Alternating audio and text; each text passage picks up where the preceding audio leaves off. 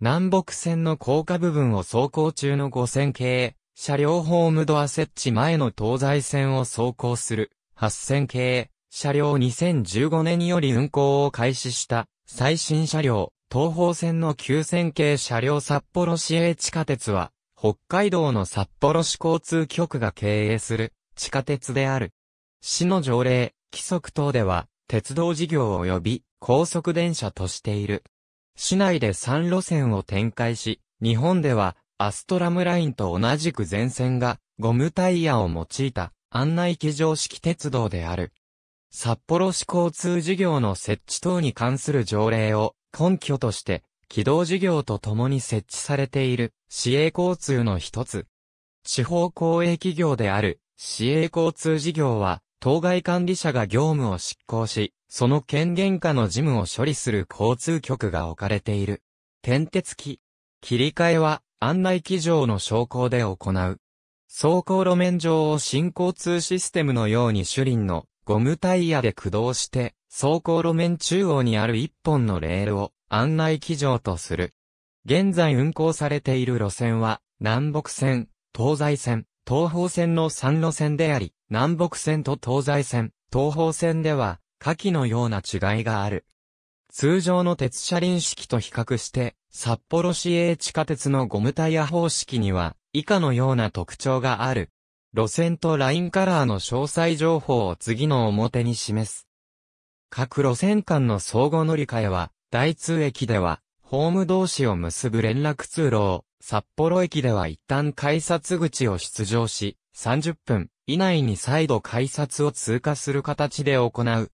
大通駅において改札口を出る、札幌駅において改札口を一旦出場して30分が経過、または札幌駅大通駅を重複乗車すると途中下車として取り扱われるため、切符は回収、または生産が必要となり、サパイカは生産される。そのため、改札口には乗り換えの際の注意事項が記載された大きな掲示が見られる。なお、1日乗車券や全線定期券の場合は、この限りではない。2006年1月26日から各路線を表すために記号と駅番号が導入された。路線記号とその由来は次の通り。合計368両ドアに貼り付けられた展示プレート。写真は南北線3000系の8号車表記。このほか、新型コロナウイルス感染症を予防策として、2020年12月から2021年1月にかけて、全車両に抗ウイルス加工を施す計画を2020年10月に市議会で表明している。女性と子供の安心車両南北線及び東西線で平日の始発から午前9時まで1両が女性と子供の安心車両に設定されている。乗車対象者はである。ただし、女性と子供の安心車両に強制力はなく、男性の任意の協力で成り立っている。協力を呼びかける案内放送は行われているが、上記以外の男性が乗っても乗務員が直接注意することはない。2008年8月18日から9月12日までの南北線で試験導入された際には、女性専用車両という名称であったが、女性以外の乗車対象者が利用しづらいとの声があったことから、現在の名称で導入されることとなった。札幌市交通資料館に保存されている南北線線系ローレル賞を受賞した東西線6000系。写真の6102号車に受賞プレートが取り付けられていた。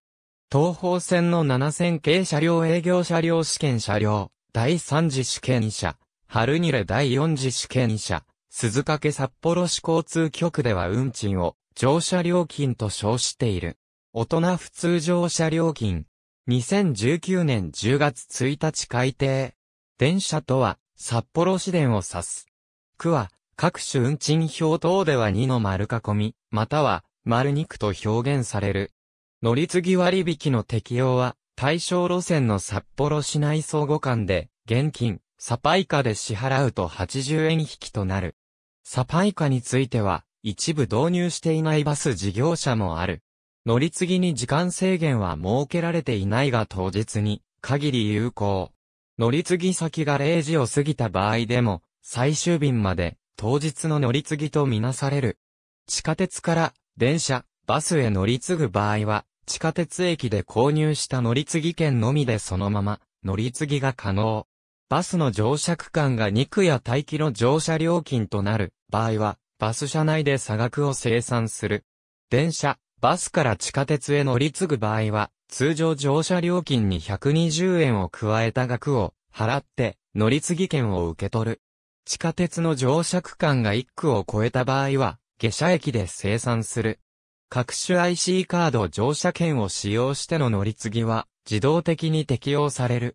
電車、またはバス降車時に残額不足となった場合は IC カードにチャージするか現金で差額生産となる。各バス事業者発行のカード乗車券や紙式回数、乗車券との併用はできない。乗り継ぎ定期乗車券は、札幌市交通局の定期券販売所でのみ取り扱う。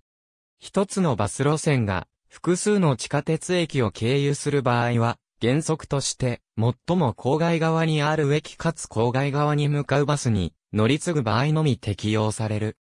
1990年代後半以降に当時、札幌市営バスとして運行されていた路線に対しては、大幅に緩和され、札幌都心を含め地下鉄駅、バス利用方向に関わらず適用となった。乗り継ぎ可能なバス会社身体障害者、知的障害者、精神障害者及びその介護人、養護児童などについては、次の福祉割引が行われている。精神障害者の割引については、長年にわたる精神障害者側からの要望もあって、2019年4月1日から精神障害者保健福祉手帳を持つ精神障害者と同行の介護者も手帳の提示によって他の障害者と同様の割引が行われている。ただし、現在は札幌市内運行の番系バスを除くバス会社において精神障害者の福祉割引を行っていないため、乗り継ぎ割引は、地下鉄、番系バス間のみ適用される。札幌市内に在住する、身体、知的、精神障害者については、上記の割引以外に、障害者交通費助成制度を受けられる場合があり、IC 乗車券、サパイカを利用して、障害の等級に応じて、無料利用、または交通費助成を受けることができる。ただし、精神障害者の地下鉄利用については、サパイカで直接改札口を通過すると通常、料金分を取られてしまうため、あらかじめ自動券売機にて、福祉料金の切符を購入する必要がある。この場合においては、札幌市電に乗り継ぐ場合のみ、乗り継ぎ券の購入が可能となっている。また、定期券にサパイカは使用できなくなり、磁気カードによる定期券の発行となる。各種乗車カードが使用できる改札機、IC カード磁気カード1日乗車券過去に発売していた乗車カード2018年度の経営状況は以下の通り1980年代初頭から赤字が続き、2004年度には単年度赤字約71億1000万円、累積赤字も同年度末で4400億円という危機的な状況となっていた。赤字の主な要因は建設費の償還とその利息負担で、特にバブル景気の最中に建設された東方線北部の分が大きいとされる。2004年から2013年度にかけて収支の改善を掲げた札幌市営地下鉄事業10カ年経営計画を実施した。沿線人口の高齢化に伴う利用客の減少が見込まれ、苦しい経営が予想されていたが、計画より5年も早く2006年度には25年ぶりに、経常収支ベースでの単年度黒字を達成した。累積欠損金や企業債も減少傾向にあり、経営計画を情報修正するまでに至った。これは補助金の増額と支払い利息の減少、人件費の大幅なカットによるところが大きいが、企業債及びその利息の削減に伴い現在は、補助金も減らし続けている。輸送統計によると2008年度の1日平均乗車人員は、3路線、合計で57万1847人であった。1990年代をピークに利用客数が減っていったが、現在は一定幅内での増減が繰り返されており、ほぼ横ばいの状態と言える。ただしこれは、東方線の利用客数増加によるものが大きく、南北線や東西線の利用客数は減少傾向にある。ちなみに現在は1日乗車券などの普及により、定期外角が増加している一方、定期客は1990年代前半の約2分の1まで落ち込んでいる。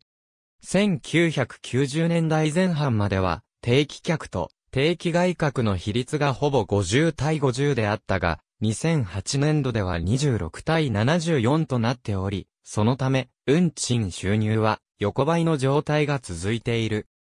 2018年度収支上では、南北線53億2500万円、東西線41億1900万円、東方線5億7600万円と3線とも黒字扱いとされているが、補助金を中心とした営業外利益収入が南北線6億500万円、東西線13億9200円、東方線41億円2500円が計上されている。東西線南郷7丁目駅に設置された札幌市営地下鉄発の可動式ホーム柵、開業以来、ホームから人が転落する事故が多く、問題となっている。交通局では運行障害の元にもなる飛び込みによる自殺を減らそうと、ホームに投身防止を呼びかけるプレートや、飛び込もうとする自分の姿を見て思いとどまってもらうべく、鏡を設置したり、相談を受け付ける。命の電話へ協賛したりするなどの対策を講じてきた。2006年には全駅へ列車非常停止装置の設置を完了したほか、2008年度から2016年度にかけて可動式ホーム柵を全駅に設置した。これにより誤って列車に接触するような事故は皆無となった。1960年代、急速なモータリゼーションの進行によって、特に積雪期の交通渋滞に悩まされていた札幌市では、市内交通の中心だった市電と路線バスによる輸送が限界に近づいていた。さらに札幌オリンピックが1972年に開催されることが決定し、選手や観客を輸送するためには、市電やバスの輸送力では到底対応しきれないことから、高速、大量輸送が可能な新しい軌道系、交通機関建設への機運が高まっていった。当初、市は、市議会を中心として、トロリーバス導入を検討していたものの、市電とほぼ変わらないことから、当時の大東豊交通局長が大量輸送型の交通機関の導入を決意し1963年にヨーロッパ各国を視察。ブッパータールでのモノレールでは市電のような短距離で、スピードが活かしきれないとし廃案。ベルギーの首都ブリュッセルでの道下電車は、原田市長が気に、入り一時的に決定に傾いたものの、ダッチは、大雪が降る札幌の真ん中にでかい穴を掘るなんて、とんでもないとの否定的意見で説得。その後、パリの地下鉄での静音性に感動し、ゴムタイヤ形式での地下鉄建設を進める方針となった。1964年に札幌市における将来の都市交通網計画調査書を民間の北海道開発コンサルタントに委託して作成させ、1970年から1985年までの交通計画とともに、モノレール、地下鉄、路面電車を地下に潜らせる、道下電車での輸送手段の検討を行い地下鉄が望ましいとの結論に至った。翌1965年から交通局の東苗母自動車訓練所内に思想路、殺内実験場を開設し、ゴムタイヤ方式の試験車両による各種試験を開始した。1966年には、北海道大学正門前から南四条西四丁目、すすきのの間で地質調査を実施し、南北線富士の沢、バラトマと東西線ひばりが丘、勤労者団地間の基本計画と、南北線、北24条をまこまない間と東西線、東札幌こと日本通り間の第一次、建設計画を設定。1967年に南北線の第一次建設区間を緊急整備区間に指定。札幌市がゴムタイヤ方式に固執した理由は、高速電車と入れ替わりに廃止が予想される市電と同等の利便性を確保するため、高速電車の駅間隔を当初、電停並みの300メートル程度と想定していたことによる。当時人口が80万人規模だった札幌において、地下鉄建設には、当時の大蔵省が赤字を懸念して、建設補助に難色を示し、札幌の中山峠には、熊が出るそうですがそんなところに、地下鉄を走らせて熊を乗せるつもりですかとの発言に、大東局長は、熊でも、全個さえ払えば乗せますよと発したやりとりの記録が残っている。1967年12月の定例市議会で、南北線、マコマ内北24条間の建設が可決され、直ちに免許が申請された。しかし運輸省が管轄する、地方鉄道法、建設省が管轄する、軌道法のいずれにも承認が得られず、国会議員の協力を得て、地方鉄道法での建設に決着。当時の地方鉄道法には、既存の鉄機場やモノレールにも当てはまらない、独自の形式であったため、関係省令を一部改正して、案内機場式鉄道の項目を設けた上で、認可された。その後、建設省側からは、南北線の高架部分建設に関し事細かな注文が入り、当初中心市街地のみを地下化とする計画が、大半の区間を地下化する形に変更された。1971年2月のプレオリンピック、札幌国際冬季スポーツ大会開催時には、南北線の試運転車両に、当時の皇太子明人と皇太子妃美智子が試乗した。これに限らず、市民を対象にした試乗会は完成検査前の同年1月頃から実施されていたが、9月3日には、マコマ内駅で、試乗列車が脱線して運転士2名と試乗客3名が負傷する事故が起きている。札幌市が1965年に発表した札幌市都市交通機関計画資料では、昭和60年までに地下鉄を南北線、東西線の計 45km、また、都心及び沿線各地区にバスターミナルを建設するとした。このうち、第一次計画として、昭和50年までに地下鉄 20km と都心バスターミナルを建設することになっていた。最初期の計画では、地下区間は都心部の約 6km のみで、残りはすべて高架とする予定だった。また、東西線については、千歳線の経路変更に伴う、廃線区間に高架を建設する案もあった。1973年、自治省が札幌市の要請に基づいて編成した調査団によって札幌市の将来あるべき交通体系に関する調査が行われた。翌1974年3月に提出された報告書最適交通体系の選択と投資順位の研究では、地下鉄についての5段階で、4路線計 81.3km の建設が提案されている。内訳は以下の通り。札幌市では、これをもとに3路線、約 50km を建設する構想、いわゆる地下鉄 50km 計画を定めた。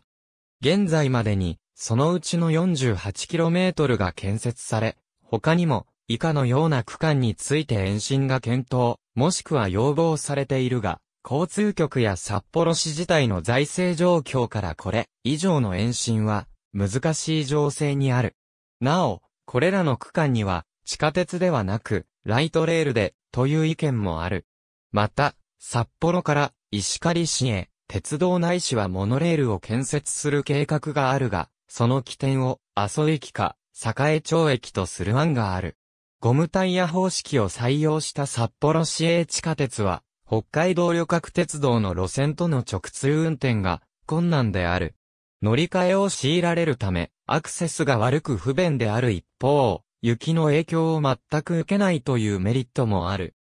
市営地下鉄の建設が始まった昭和40年代前半の頃は、現在の札幌都市圏のように通勤や通学の範囲も広くなかったことに加え、JR 北海道の前身である当時の日本国有鉄道は駅間隔も長く普通列車の運行本数も地方都市並みであり、通勤、通学に利用しやすい存在ではなかった。当時、市民の足は主に市電、バスであり、同じく通勤、通学輸送を目的とした札幌市営地下鉄にとって、鉄軌道方式による相互乗り入れの必要性は低かったと考えられる。しかし国鉄分割民営化と前後して、国鉄や民営化により発足した JR、北海道は、札幌近郊輸送を重視するようになり、列車の大幅な増発や、駅の増設、また、函館本線の高架化や殺傷線の伏線高架化を行った。結果、現在では、JR 線も通勤、通学路線としての役割を担っている。そのため、路線が市内東西に並行する JR 函館本線、千歳線と東西線、南北に並行する JR 薩沼線と南北線北部、東方線北部が競合状態にある。JR 線との相互乗り入れの可能性については、1995年から札幌市と JR 北海道の部課長クラスで JR と地下鉄連携に関する研究会を設けて検討され、鉄道総合技術研究所に調査委託した。翌1996年の研究所からの報告書では、両軌道に対応できる車両を開発する案が有力で技術的には可能とされた。しかし、その開発費は数百億円から千億円程度に上るとのことで、その後の市総合交通対策調査審議会により、採算を理由に見送られた経緯がある。JR 線、地下鉄線ともに利用可能な相互連絡乗車券や定期券は、期間、数量限定のよさこいソーランパス以外発売されていない。また運行障害が発生しても振り替え輸送は従来行われなかったが、2008年11月からは JR 線で2時間以上の運行障害が発生した場合、地下鉄線への振り替え輸送を行うことになった。これは2007年12月に、札幌周辺の JR 線が、列車防護無線装置の誤発報で長時間にわたって運行が乱れた際、その対応で JR 北海道に厳しい批判が寄せられたことから、札幌市交通局との間で協議が進められていたものである。IC カードの導入時も共通化を図る方向で2005年より協議が進められていたが、東日本旅客鉄道の Suica との共通化を優先する JR 北海道と、バスや市電など市内交通機関との共通化を主張する市交通局との間で意見が分かれ、当面の間共通化は見送られることになった。結果、2008年10月より導入された Kitaca と2009年1月より導入された SAPICA の2枚を使い分ける必要が生じている。2013年6月22日から JR 東日本の Suica と相互利用が可能なカードが利用可能となった。JR 北海道と札幌市営地下鉄は同じ北海道の鉄道事業者でありながら対応やサービスの異なる面が多い。サービス面での違いは以下の通り。2009年3月31日までは携帯電話のルールに関しても違いがあった。ありがとうございます。